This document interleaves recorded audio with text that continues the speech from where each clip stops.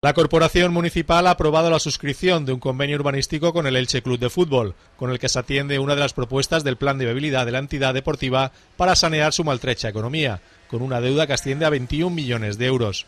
El punto ha contado únicamente con el respaldo del Grupo Socialista, desde el que consideraban que el Ayuntamiento no podía dar la espalda al Elche Club de Fútbol y dejarlo al borde del embargo y una posible desaparición.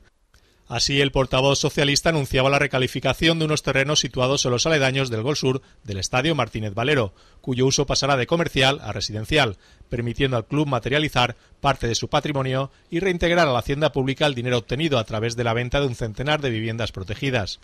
Desde el Partido Socialista consideran que se trata de la mejor solución posible, ya que ni se puede dejar que la entidad deportiva desaparezca, ni el ayuntamiento pueda hacer un fuerte desembolso en tiempos de crisis.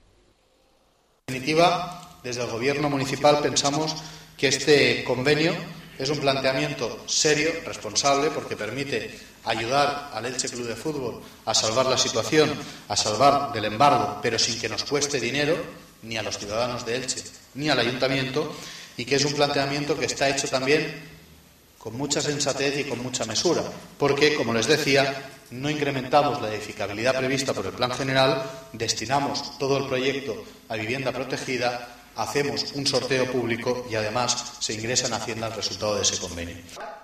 La concejal de Compromís ha votado en contra del acuerdo, desconfiando de que dicho convenio sirva de solución y denunciando que se sienta un precedente muy peligroso. Estamos convencidos de que la actual propuesta no va a solucionar nada, porque solo podrá pagar la deuda que tiene con Hacienda. Y entendemos es la antesala de la recalificación de todo el estadio, si no tiempo al tiempo.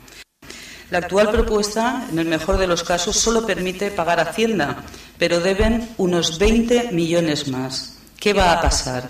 ¿De dónde va a salir el dinero para pagar esa deuda? Que además se va acumulando del orden de tres y medio o cuatro millones por temporada. Además, entendemos que se sienta un precedente muy importante con este acuerdo. ATECO ya ha pedido lo mismo. Un plan de rescate, lo llaman ellos. Mientras, desde el Partido Popular se han abstenido, mostrando sus reticencias ante un plan que consideran que es mejorable. Pero no podemos votar a favor de esa moción, ya que se trata de un parche para la grave situación en la que se encuentra el Club de Fútbol. Estamos a favor de aprobar un plan de viabilidad sensato que solucione los problemas de la entidad.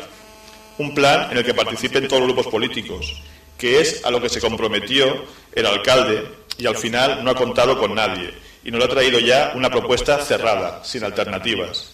Estamos seguros de que se puede buscar un plan más completo que consiga una mejor.